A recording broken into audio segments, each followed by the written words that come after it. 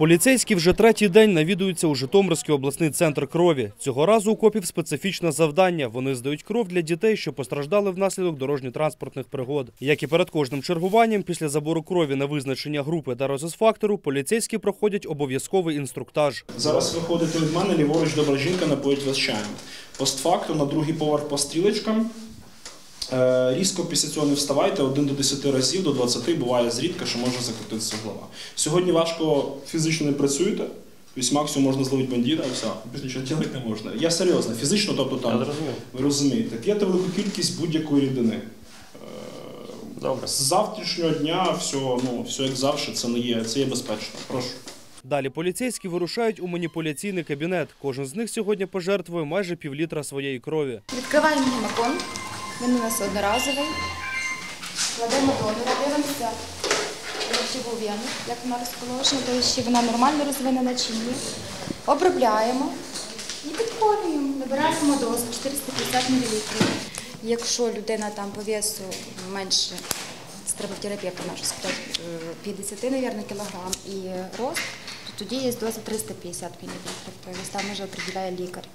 Чудове відчуття. Головне, що ти знаєш, що ти комусь допомагаєш і допомагаєш тим людям, які насправді цього потребують. Оце саме головне. Якщо на людині треба, без питань.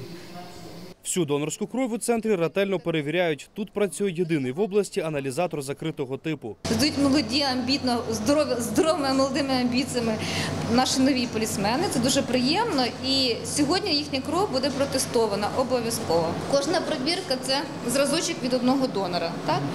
Прилад забирає в роботу зразок сиворотки і працює.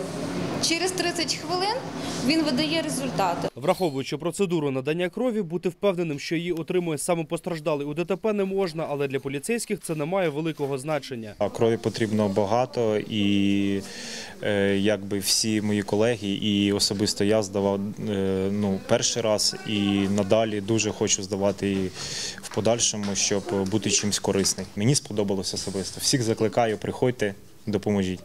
Акція проходить в рамках тижню безпеки дорожнього руху. Поліцейські кажуть, здаватимуть кров і надалі, але рекомендують водіям бути обачливими на дорогах, щоб донорська кров їм ніколи не знадобилася. одна і та сама причина. Недотримання швидкісного режиму, встановлено забороненими знаками, потім неуважність при погіршенні погодних умов, тобто дощ, покриття вологи, дорожне та- інше. І, можливо, на третьому місці я б визначив засоби зв'язку, тобто тобто користування засобами зв'язку при керуванні транспортним засобом. Це найбільші причини, які приводять до таких наслідків. Акція Здай кров, рятуй життя паралельно проходить і в інших регіонах України. За три дні житомирські поліцейські здали більше 20 літрів крові.